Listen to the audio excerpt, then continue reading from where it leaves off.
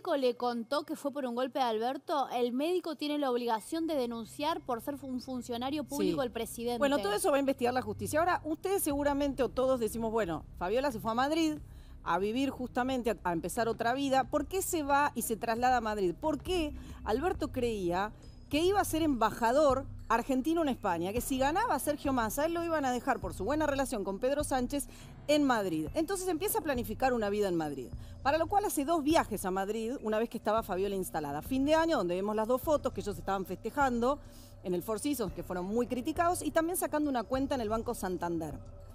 Fabiola Yáñez, en el segundo viaje de Alberto, que es el 23 de mayo hasta finales de junio, registra un ingreso al Hospital Universitario de Madrid.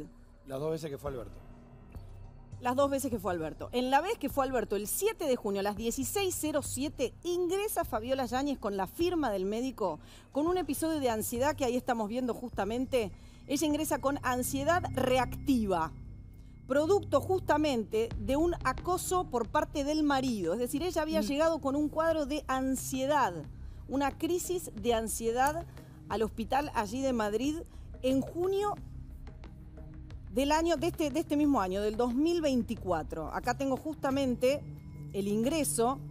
Él va a finales de mayo y se extiende hasta junio. Sí, él inclusive. termina, sí, quiero ver justamente medicación habitual. En realidad lo que cuenta su entorno es que supuestamente Fabiola era una persona que tenía presión baja, pero que por todos estos episodios empezó a, a sufrir cuadros de hipertensión. Bueno, allí llegó con una crisis de ansiedad reactiva y tuvo que ser asistida y esto también sería una prueba de que cuando iba el presidente a visitar a Fabiola a Madrid, ocurría esto, episodios de violencia que la llevaban justamente a tener consecuencias en su propia salud.